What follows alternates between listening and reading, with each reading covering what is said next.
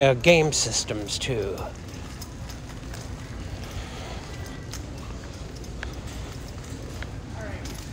Hey, they got like 20 self-service registers working on that end.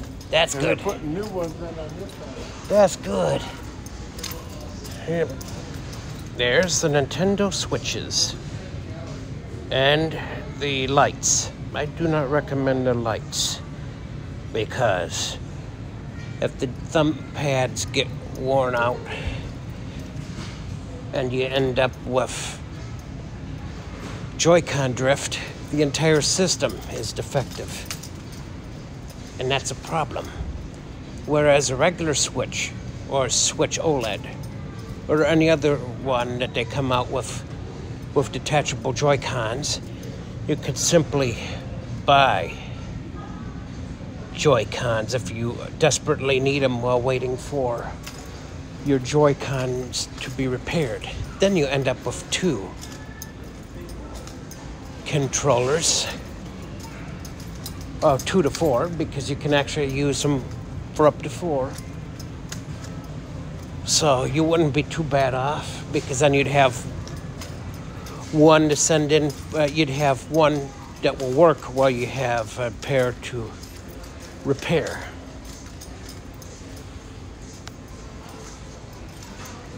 Let's see. Doesn't look like they have game systems in stock.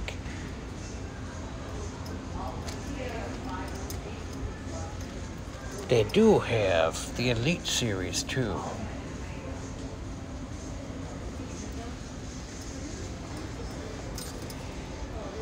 That's pretty good. Hmm.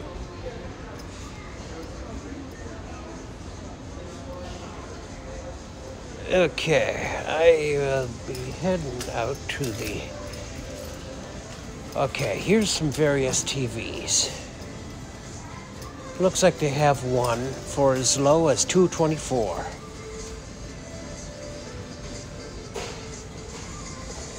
This one's a 1080p.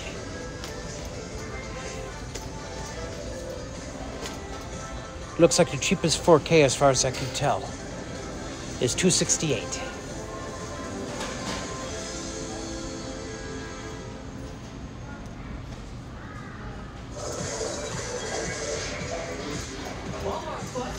For that price, maybe you'd get lucky and get uh, and get a monitor that would actually be cheaper.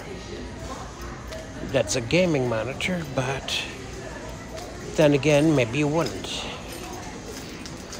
But anyway, let's see. Let's see.